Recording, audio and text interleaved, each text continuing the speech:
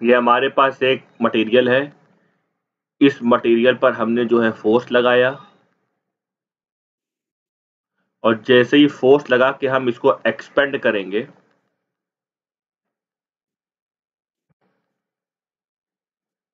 ये।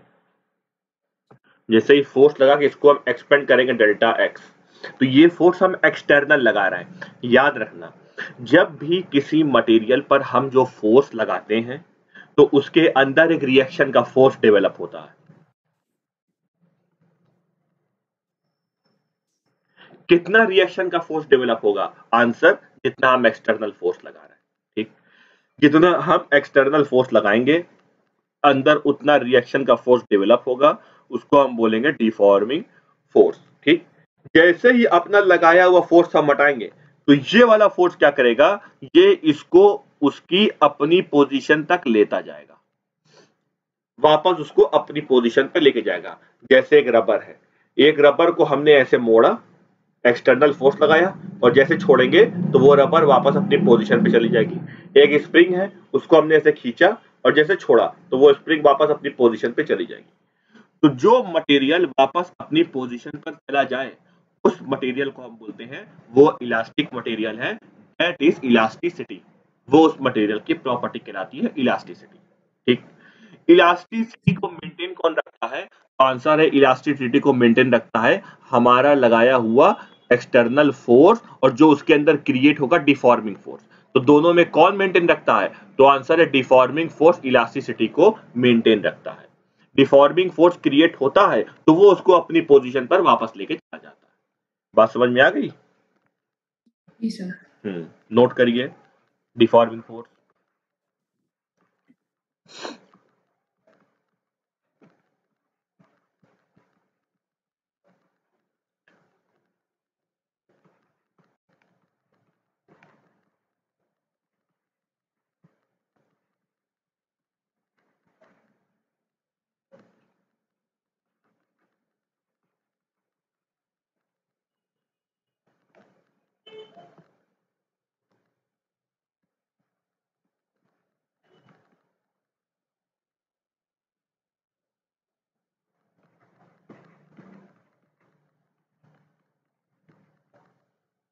नोट करिए।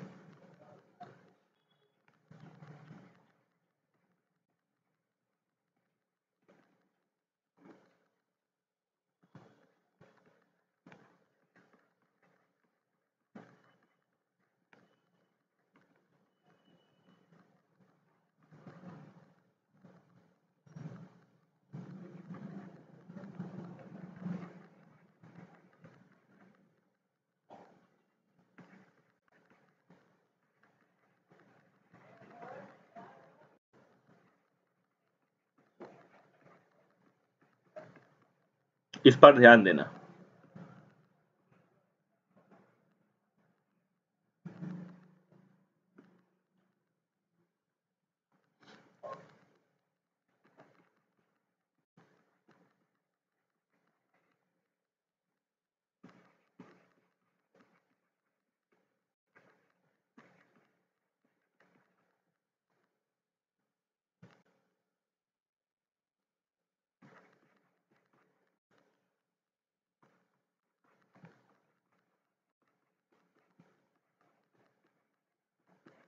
देखिए कॉन्फ़िगरेशन का मतलब क्या होता है? हमारे पास मान लीजिए एक बॉडी है। उस बॉडी को हमने दबाया तो याद रखना, उसका कॉन्फ़िगरेशन चेंज हो गया। उस बॉडी को हमने फैलाया, उसका कॉन्फ़िगरेशन चेंज हो गया। उस बॉडी को हमने ऐठ दिया, उसका कॉन्फ़िगरेशन चेंज हो गया। ये देखिए, ये एक बॉडी है। पाँच के ऊपर पाँच मॉलिक्यूल्स हैं। एक के ऊपर एक मॉलिक्यूल दो के ऊपर दो मॉलिक्यूल तीन के ऊपर तीन मॉलिक्यूल पाँच के ऊपर पाँच मॉलिक्यूल्स है हमने क्या किया? हमने उसको ऐंठ दिया। तो अभी भी जो है पाँच के ऊपर पाँच मॉलिक्यूल्स है लेकिन ये पहले वाले पाँच के ऊपर पाँच की तरह नहीं है।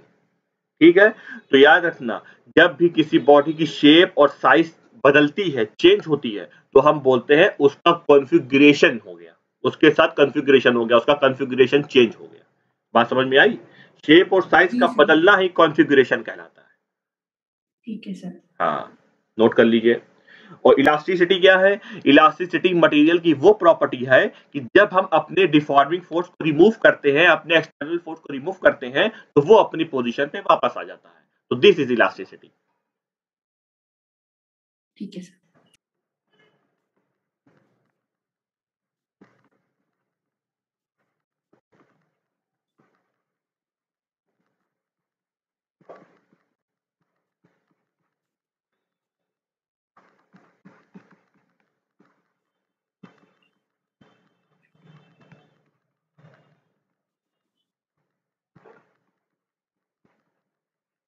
ठीक है? Hard material more elasticity soft material less elasticity जितना अच्छा हार्ड मटेरियल होगा, उतना अच्छी इलास्टिसिटी होगी। अच्छा भैया, क्यों ऐसा क्यों है? क्योंकि जितना ज़्यादा हार्ड मटेरियल होगा, उतना ज़्यादा हम फोर्स लगाएँगे। जितना ज़्यादा फोर्स लगाएँगे, उतना ज़्यादा अंदर रिएक्शन डेवलप होगा, वो उतनी जल्दी उसे वापस लेकर जाएगा।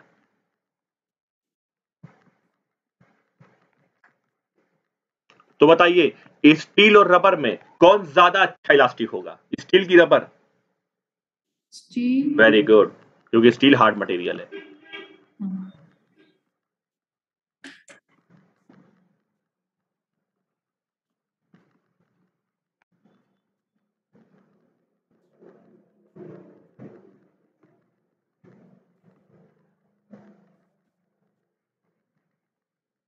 steel is more elastic than rubber note करिए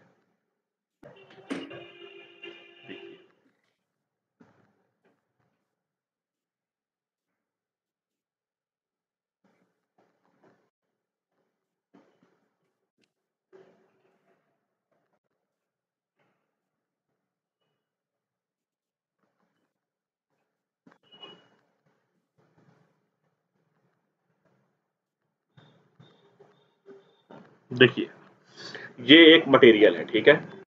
इस मटेरियल को हमने इस दीवार में बाँध रखा है, कील लगाकर हिंच कर रखा है। ठीक है? जब हम इस पर ऐसे फोर्स लगाएँगे तो ये फोर्स इसके पूरे एरिया पर लगेगा। ठीक? तो याद रखना फोर्स पर यूनिट एरिया ही जो हमारा कहलाएगा, वो स्ट्रेस कहलाएगा। क्या कहलाएगा? Stress what is stress force per unit area ठीक? स्ट्रेस कैसी क्वांटिटी होती है? तो स्ट्रेस टेंसर क्वांटिटी होती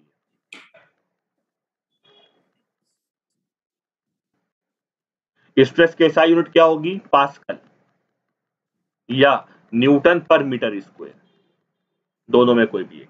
ठीक? नोट करिए। और ये कौन सा फोर्स होता है? ये रीस्टोरिंग फोर्स होता है।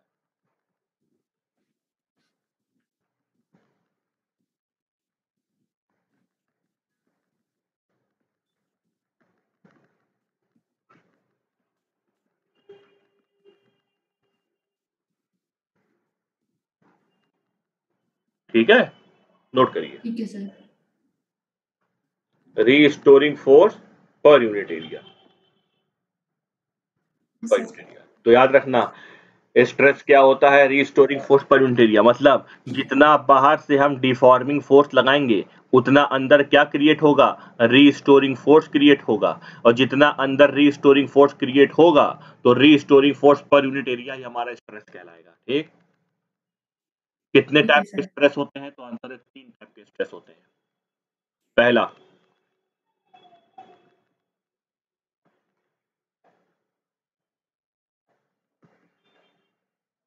ये सब चीज़ साइलेंस जोन में पढ़ाई नहीं गई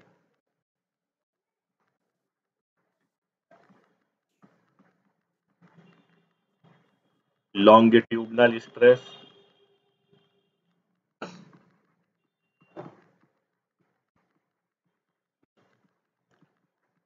volumetric stress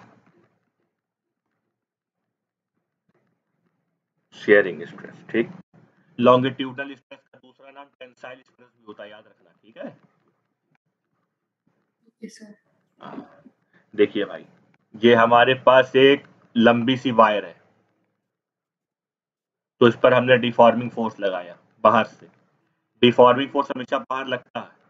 यहाँ पे एक मिनट यहाँ पे यहाँ पे बाहर डिफॉर्मिंग फोर्स लगता है अंदर रीस्टोरिंग फोर्स लगता है। तो रीस्टोरिंग फोर्स काम करता है उसको अंदर ले जाने के लिए ठीक है? वो हमने उल्टा बोल दिया। ठीक?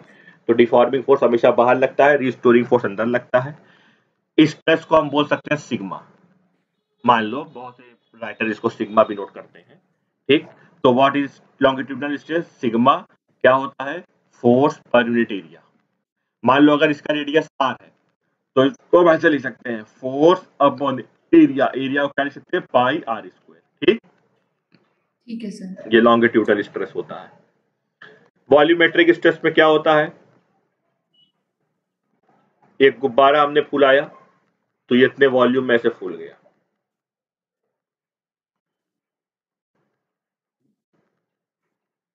तो यहाँ पे क्या होगा स्ट्रेस स्ट्रेस वॉल्यूमेट्रिक क्या होगा? फोर्स पर यूनिट एरिया कुछ लोग इसको लिखते हैं डेल्टा पी ये मैं आपको बताऊँगा ऐसा क्यों होता है, ठीक है? अभी नोट कर लीजिए इसके लिए।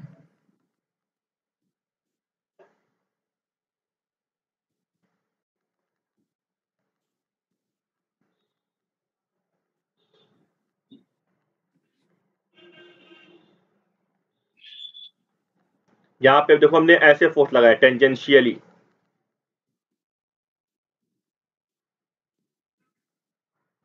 ये। तो देखो, ये इतना चेंज हो गया। तो यहाँ पे फॉर्मूला क्या होगा? शेयरिंग के लिए फोर्स पर यूनिट एरिया लेकिन यहाँ फोर्स कैसा लग रहा है? टेंजेंशियली लग रहा है। अच्छा दोनों में अंतर क्या है? Longitudinal stress volumetric stress shearing stress तीनों के लिए फॉर्मूला सेम है। Force upon area force upon area force upon area difference क्या है? डिफरेंस ये है कि लॉन्गिट्यूडनल स्ट्रेस पे हम तो फोर्स लगा रहे हैं। वो देखिए सरफेस से परपेंडिकुलर लग रहा है। कैसा लग रहा है? हाँ सरफेस से परपेंडिकुलर वॉल्यूमेट्रिक स्ट्रेस में जो फोर्स लगा रहे हैं तो वो कैसा लग रहा है? देखिए सरफेस से परपेंडिकुलर शेयरिंग में जो फोर्स लगाएँगे, वो देखिए वो सरफेस से टेंजेंशियली लग रहा है। याद रखना, ठीक? ठीक है, सर। हाँ।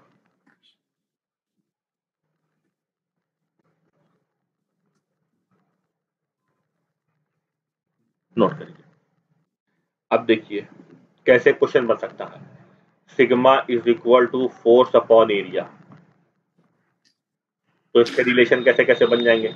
ऐसे बन सकता है relation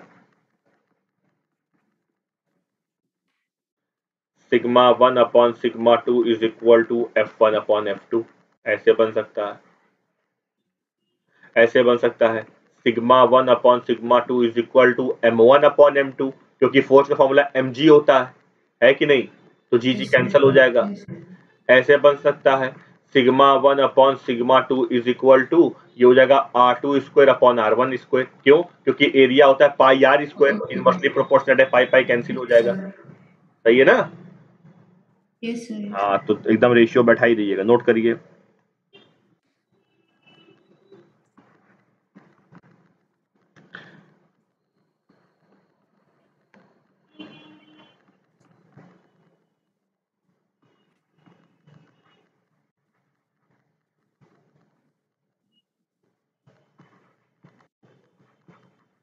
चलिए सर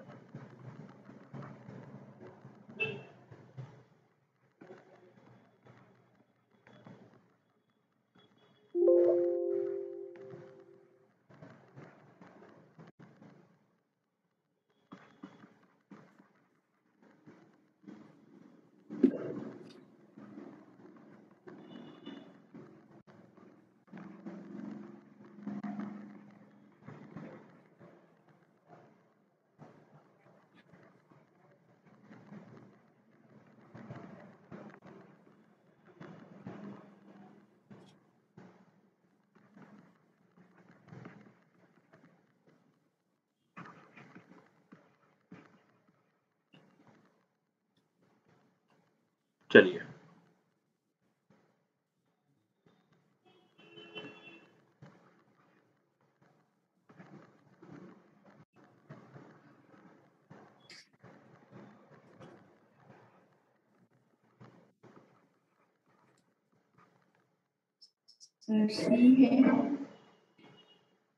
बहुत अच्छे क्या। बात है क्या बात है एकदम सही क्योंकि सिग्मा सेम फोर्स लग रहा।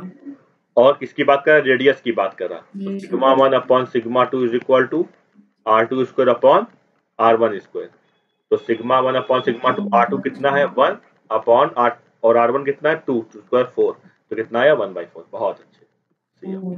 बहुत अच्छे।